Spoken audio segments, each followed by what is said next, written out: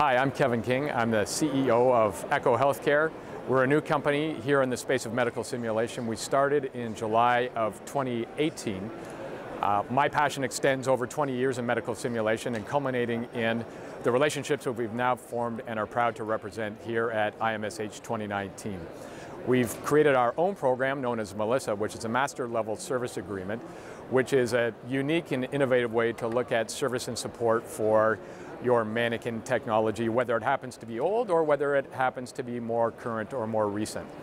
We also have the great honor of representing some UK-based companies that you can see behind me here, starting with SMOTS, the Scotia Medical Observation Training System, which is a revolutionary new product that is AV briefing in its purest form and most elegant form. We also represent LifeCast Body Simulation, LifeCast Body Simulation is a company that was founded in the United Kingdom, based at Elstree Studios, and has the world's most lifelike mannequins. There's Oscar-winning technologists who have actually designed these mannequins.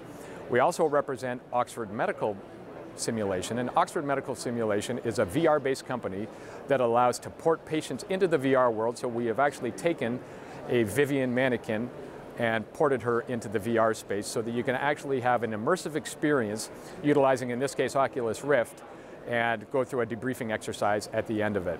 We also represent Inovus Surgical, Inovus Medical, and th those are all surgical supplies and surgical simulators. There's laparoscopic trainers there. There's a brand new VR trainer that they've just come out with this year. And of course, the Bazzini hysteroscopy trainer, which is the world's first most immersive hysteroscopy simulator.